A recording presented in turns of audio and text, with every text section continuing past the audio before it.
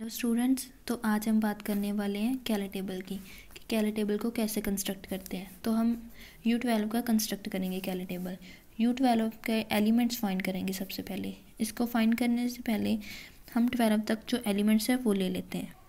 इसमें से हम वो एलिमेंट्स लेंगे जिनकी जी सी डी ट्वेल्व के साथ वन बन रही है। एक वन फाइव सेवन और इलेवन बाकी के जो एलिमेंट्स हैं, उनके साथ जी सी डी जो है वो वन नहीं बन रही। जैसे टू के साथ टू इंटू वन और ट्वेल्व को हम लिख सकते हैं टू इंटू सिक्स तो यहाँ पे जी सी डी जो है वो टू बन रही है वन नहीं बन रही। इसलिए हम यू ट्वेल्व में ये एलिमेंट नहीं लेंगे। यू ट्वेल्व के एलिमेंट्स क्या आ जाएँगे? वन फाइव सेवन और इलेवन अब हमने यहाँ पे कंस्ट्रक्ट करना है इसका कैले टेबल तो कैले टेबल कंस्ट्रक्ट कर, कैसे करते हैं? वन कॉलम वाइज और रो वाइज लिख लेते हैं इनके एलिमेंट्स को। अंडर मल्टीप्लिकेशन चल रहा है, मोड लो हमारा ट्वेल्व है। तो यहाँ पे हम बात करेंगे कि मल्टीप्लिकेशन की। तो वन को हर एक एलिमेंट के साथ मल्टीप्लाई करना है। वन को वन के साथ करने से one one into five is five one into seven is seven one into eleven is eleven five into one is five अब फाइव इंटू फाइव करेंगे तो ट्वेंटी फाइव आएगा। सबसे पहले हम यहाँ पे वही एलिमेंट्स लेंगे जिन, जो ट्वेल्व से स्मॉल है। तो यहाँ पे ट्वेंटी फाइव ट्वेल्व से बढ़ गया। तो इसलिए हम इसको अंडर मोडलो ट्वेल्व लेंगे। तो यहाँ पे जो रिमाइंडर आएगा, उसे हम यहाँ पे लिखेंगे। फाइव इंटू सेवन करने से थर्टी फाइव बन रहा है, जो ट्वेल्व से ग्रेटर है।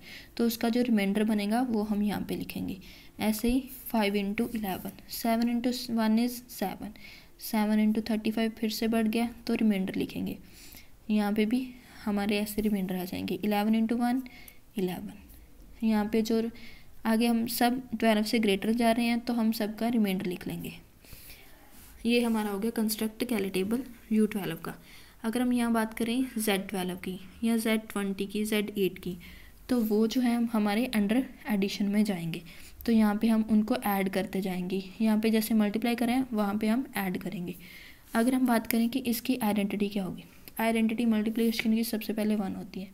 यहाँ पे हमने देखना है कि इसकी आइडेंटिटी क्या बनेगी। तो क्या है कि किस एलिमेंट को मल्टीप्लाई करें कि हमको वापस वही एलिमेंट मिलता जाए। तो वन को वन के साथ कर रहे हैं, वन मिल रहा है। फाइव को वन के साथ कर रहे हैं, फाइव मिल रहा है।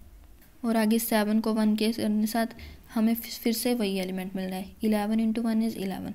वापस से यही एलिमेंट्स मिल रहे हैं तो हमारी इस टेबल की आइडेंटिटी जो है वो वन होगी। ये था हमारा आज का टॉपिक आई होप आपको वीडियो अच्छी लगी हो.